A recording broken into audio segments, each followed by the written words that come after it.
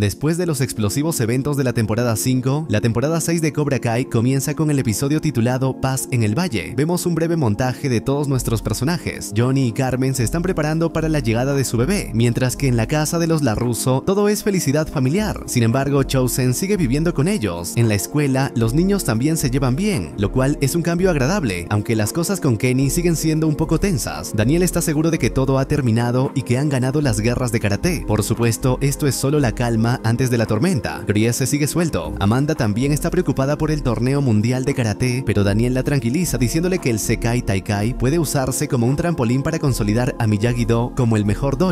Daniel asegura a Amanda que este torneo es su canto del cisne y que dejará el karate después de esto. Por ahora las cosas entre Johnny y Daniel siguen siendo buenas, pero la destrucción del almacén de Eagle Fang y el hecho de que Daniel haya menospreciado a Johnny podrían deshacer todo este buen trabajo. Esto se vuelve especialmente evidente cuando Daniel elige a Chosen para que imparta su lección en su lugar. Hawk propone un nuevo nombre para combinar los dos dojos, Miyagi Fan Karate. Honestamente es un logo bastante genial, pero a Daniel no le agrada la idea. Mientras él y Chosen discuten, todo se reduce a una pelea entre Johnny y Chosen para decidir el nombre del dojo. Johnny está decidido, viendo esto como algo más que un simple nombre. Él levantó a Eagle Fang de las cenizas y lo convirtió en un dojo sólido. Mientras se prepara para la pelea, Johnny recibe un mensaje de un remitente desconocido, diciéndole que se reúna en Coyote Creek. Quien que sea, también menciona que Cobra Kai nunca muere. Resulta ser Stingray en el bosque, entrenando a sus propios alumnos y queriendo revivir Cobra Kai de la manera adecuada. Quiere que Johnny sea el líder, pero él se niega, a pesar de un discurso bastante convincente de Stingray sobre lo buen sensei que es Johnny. Mientras Benedict hace las paces con los demás, Tori y Sam no son tan amistosas, están en el mismo dojo pero no se gustan, y una doble cita no ayuda en nada. Robbie también se encuentra en problemas cuando intenta hablar con Kenny en el arcade. Sin embargo, su hermano mayor Sean aparece y lo advierte. Ahora que está fuera del reformatorio, se toma las cosas en serio. Robbie no se rinde y continúa dialogando con Sean y Kenny en las jaulas de béisbol. Las cosas se calientan, terminando eventualmente en una pelea entre los chicos. Sin embargo, esto resulta útil para que Sean hable francamente con Kenny en privado, diciéndole que debe pensar en su futuro. También sabe que Robbie y los demás no son delincuentes, dado que se calmaron en la pelea. En cuanto a Tori y Sam, finalmente parecen llegar a un entendimiento mutuo. Después de escuchar sobre esto y comprender que el compromiso es parte del trabajo en equipo, Daniel decide que deben honrar los deseos de Johnny y dejar que gane esta vez. Habla con Chosen y decide que él y Johnny no necesitan pelear después de todo. Curiosamente, Johnny ha llegado a la misma conclusión. Cobra Kai es el legado de John Chris y Johnny no quiere tener nada que ver con él. Hace las paces con Daniel y Chosen y este último sigue adelante con su pelea contra Johnny, solo por diversión. Con todos en Miyagi-Do, incluso Kenny aparece para unirse a las filas. Desafortunadamente, Chris no ha terminado y se presenta para ver a Kim Da-eun, decidido a revivir Cobra Kai desde las cenizas.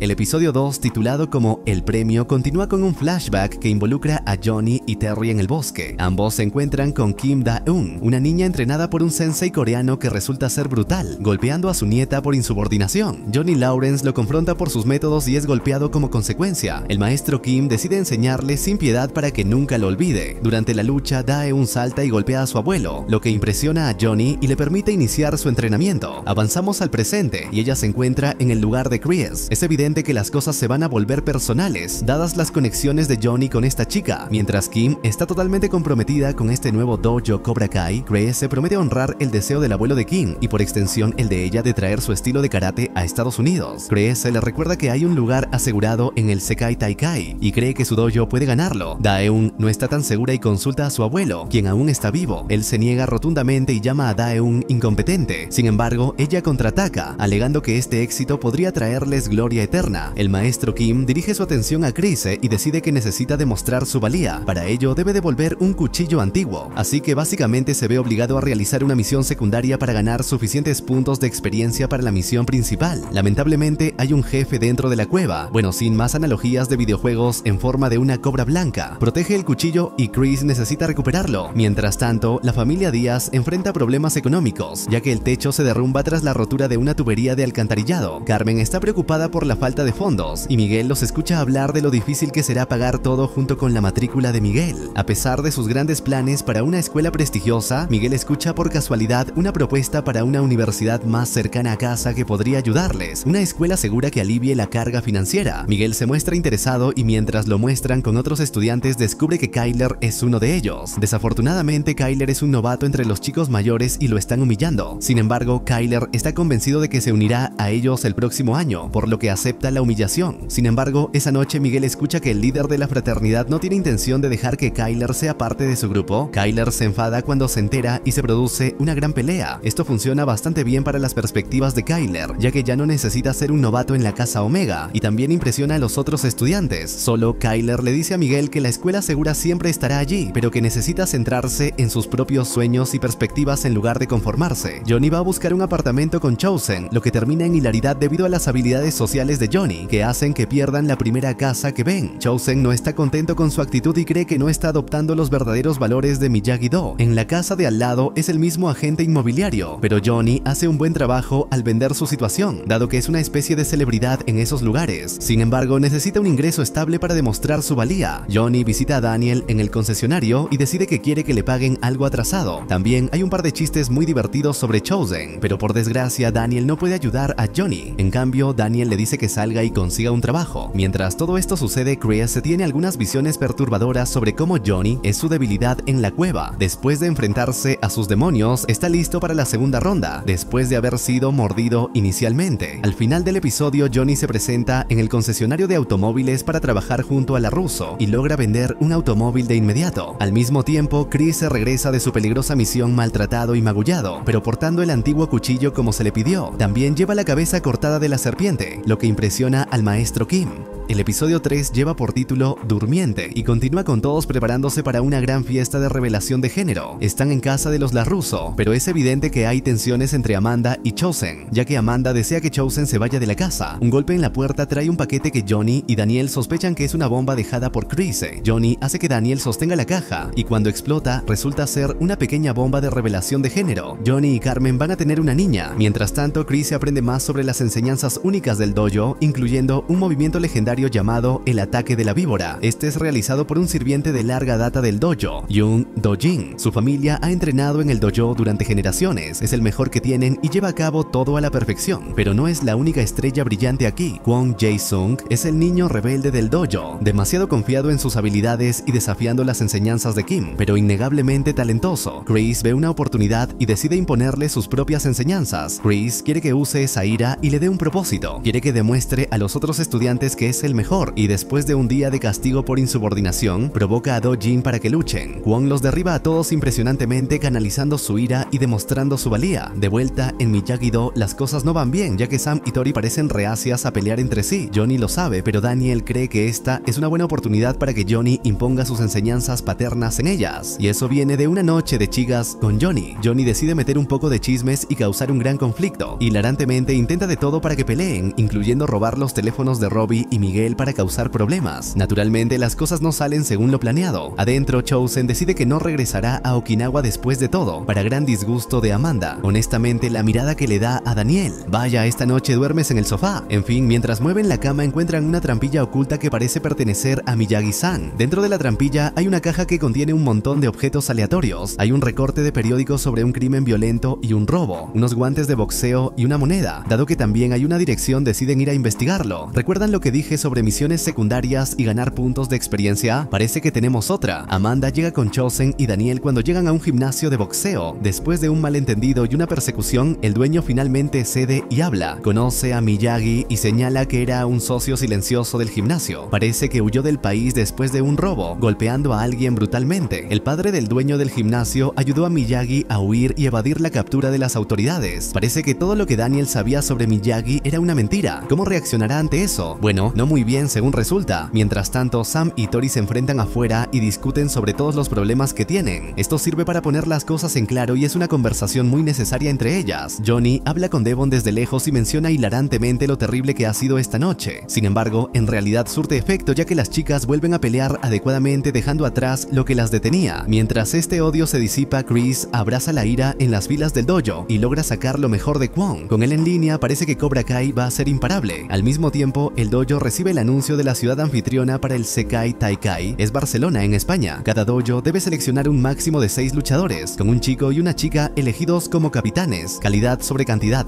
El episodio 4 titulado como Desválidos continúa con un gran discurso motivacional en Miyagi-Do, ya que deben seleccionar a sus 6 luchadores. Johnny, Chosen y Daniel están decididos a elegir a los mejores y en este momento todos están en igualdad de condiciones. Bueno, al menos entre los personajes que tienen más tiempo en pantalla. Miguel, Robbie, Sam y Tori están seguros de que tienen un lugar asegurado. Demetri ya ha aceptado que no será seleccionado y decide concentrarse en ingresar al MIT. Sin embargo, Ellie le brinda algunas palabras de aliento. En otro lugar, Daniel y Johnny discuten sobre a quién elegirán para el torneo. Ambos tienen sus propios prejuicios y necesitan un juez imparcial. Entra en escena el sensei Mike Barnes. Barnes es traído para observar y seleccionar a los seis mejores. Promete llevar a todos al límite y decide hacerlo mediante eliminaciones. Se eligen los 12 mejores y tenemos a todos los sospechosos habituales. Sin embargo, Devon tiene mucha agresividad acumulada y no está contenta de no recibir elogios por ganar la prueba de resistencia. Al día siguiente tenemos Captura la bandera como una batalla real, en la que cada uno debe recoger tantas banderas como sea posible para progresar. Al final nos enteramos de que Tori, Robbie, Sam y Miguel definitivamente irán a Barcelona. Sin embargo, los cuatro últimos están empatados en puntuación y en cuanto a Anthony está fuera. Anthony tiene la nariz rota después de que Kenny lo venciera. Anthony no está contento y decide irse a casa, profundamente decepcionado y dándose cuenta de que el karate no es para él. Esa noche Johnny se presenta para ver a Barnes y se disculpa. Sin embargo, también está allí para revisar a Devon. Lamentablemente, ella está en el último lugar de su lista. Johnny no está contento, especialmente cuando Barnes lo provoca y finalmente lo llama un matón a sueldo. Naturalmente, la pareja se enfrenta después de estar en desacuerdo sobre los métodos de enseñanza. Johnny sale victorioso, pero Barnes admite que ha estado deseando una pelea desde que el karate volvió a su vida. Johnny lo entiende y le dice que se asegure de darle a Devon una oportunidad justa, de un chico malo a otro. A la mañana siguiente Barnes reúne a todos y decide dar una oportunidad justa a los cuatro últimos. Está muy reñido, así que habrá otra oportunidad. Dos banderas están en el bosque y de los cuatro solo dos pueden traerlas de vuelta. Ganar lo es todo aquí. En medio de esto, Demetri no está contento cuando descubre que Hawk nunca solicitó ingreso al MIT. Está alterado mientras todo se reduce a esto. Mientras los chicos compiten en el bosque, resulta que Devon le puso laxantes en la bebida a Kenny. Devon regresa con la bandera antes que Kenny, mientras Hawk y Demetri luchan por la bandera restante.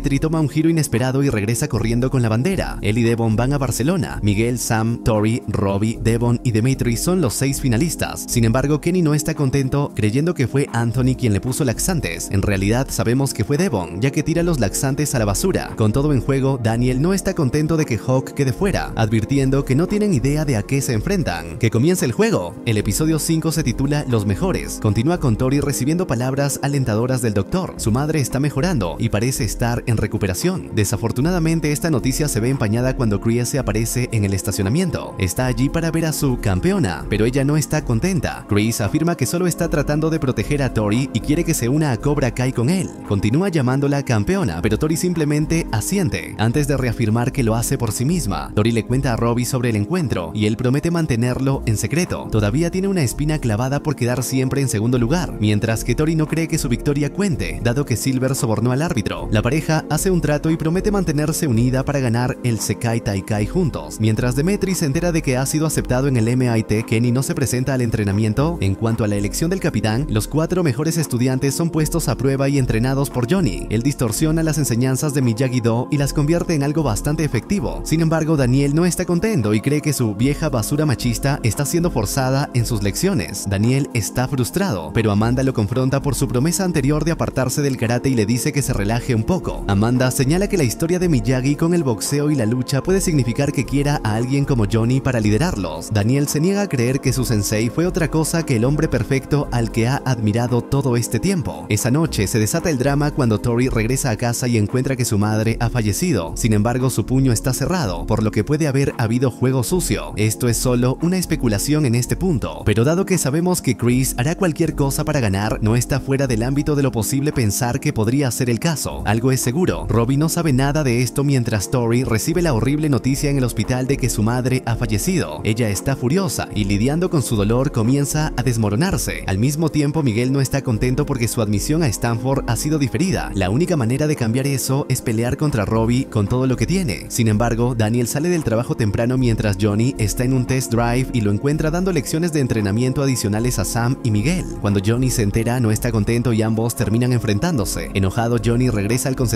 y decide que va a irse y comenzar su propio negocio, socavando el negocio de Daniel. Es bastante divertido ver las reacciones, pero Amanda lo lleva a la oficina para calmarse. También le muestra la caja de recuerdos de Miyagi y lo que hay dentro. Esa noche, Amanda hace entrar en razón a Daniel. Intenta negociar y le dice que comprometa un poco con su socio. Daniel incluso admite que desde que abrió la caja ha estado desbalanceado y tiene un miedo terrible de que haya una razón por la cual no sabía sobre el pasado de Miyagi. Amanda le dice que se concentre en el presente y específicamente en los estudiantes y en Johnny. Sin embargo, las grandes peleas están sobre nosotros. Primero están Robbie y Miguel, pero antes de enfrentarse, Daniel habla con Johnny y deciden que ellos arbitrarán cada una de las peleas. Sin embargo, Tori sigue sin aparecer. Robbie y Miguel pelean y a pesar de ir dos puntos abajo, Robbie le da la vuelta y sale victorioso. En cuanto a las chicas, Tori aparece en su estado de dolor justo a tiempo. Por supuesto, nadie sabe lo que ha pasado con su madre. Mientras pelean, Tori se vuelve completamente agresiva y parece dispuesta a golpear a Sam directamente en la cara. En medio de esto, Amanda recibe una llamada del centro médico y ella y Daniel instan a detener la pelea. Tori no quiere, canalizando su ira y queriendo luchar a través del dolor. Sam puede notar que las cosas están fuera de control, pero Johnny decide dejar esto en manos de Tori y Sam. Johnny se pone del lado de Tori pero no sirve de nada. Daniel y Amanda se niegan. Tori se da cuenta de que esto es inútil y decide alejarse de Miyagi-Do. Johnny no está contento y solo le dice a Daniel que entiende por lo que está pasando Tori. Cuando su madre murió le ayudó a luchar en el tatami. Daniel y Johnny se enfrentan por el pasado de Miyagi y termina con Daniel golpeándolo en la cara. Johnny decide que después de este torneo todo habrá terminado entre ellos. Solo se mantendrán juntos para este torneo. Ahora con Tori fuera y no yendo a Barcelona, Hawk toma su lugar. Con Sam y Robbie designados como los capitanes, Daniel nota el símbolo y lo reconoce de la caja de recuerdos. Resulta que Miyagi luchó en el Sekai Taikai y su cinta para la cabeza está cubierta de sangre, un signo ominoso de lo que está por venir tal vez. Con la competencia a punto de comenzar nos trasladamos a Barcelona, donde todos los diferentes equipos llegan para el inicio del torneo. Mientras Miyagi-Do está vestido de blanco, los rudos de Cobra Kai aparecen vestidos de negro, con Chris y Kim listos para ir a la guerra. Desafortunadamente, Tori toma su lugar en las filas de Cobra Kai, habiéndose unido a ellos después de darle la espalda a Miyagi-Do. Bueno, parecía obvio que alguien se uniría a Cobra Kai, pero sinceramente yo apostaba por Devon. Dada su ira y la forma en que se infiltró en la competencia, será interesante ver qué papel desempeñará en el futuro. ¿Cómo reaccionarán los demás ante su traición a Kenny? ¿O todo esto se mantendrá en secreto?